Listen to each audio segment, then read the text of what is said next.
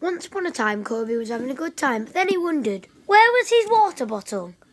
Hmm, So he went to go and find it. He first checked in the bathroom.